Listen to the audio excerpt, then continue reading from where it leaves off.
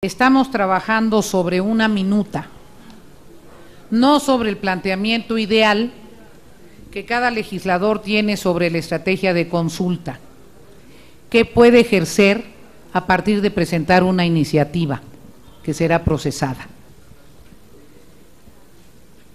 Muchos pensamos que los mecanismos de participación ciudadana deben fortalecerse y robustecerse, pero este debate se ciñe a lo legislado por la Cámara Alta y a las materias que abordaron los miembros de la Comisión de Puntos Constitucionales en relación a la minuta. Y la Comisión de Puntos Constitucionales enriqueció la minuta en este aspecto en varios asuntos que quiero subrayar. Como venía la minuta, la consulta solo se podía realizar cada tres años en la jornada electoral. Hubo un esfuerzo de la Comisión de Puntos Constitucionales para que la periodicidad de la consulta pudiese ser anualmente y no habla de una pregunta, no habla de una pregunta, sino dice genéricamente consulta. Un segundo aspecto en el que enriqueció, derivado de la misma decisión, la minuta para favorecer mayores posibilidades de concretar este derecho, es reducir el umbral del 2% a la mitad, para que los ciudadanos puedan plantear la realización de una consulta. Quiero señalar, porque es pertinente, que en el caso de los ciudadanos, el tema de la consulta no debe ser aprobado por el Congreso de la Unión. Es el inciso C de el articulado respectivo.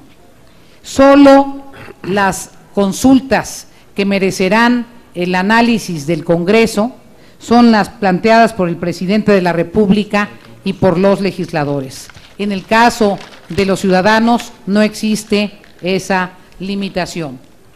Y finalmente, al fondo de eh, nuestra posición, que paradójicamente nosotros estamos convencidos, es mi caso, estoy convencida de que a los ciudadanos les conviene el que las consultas no se realicen en la jornada electoral.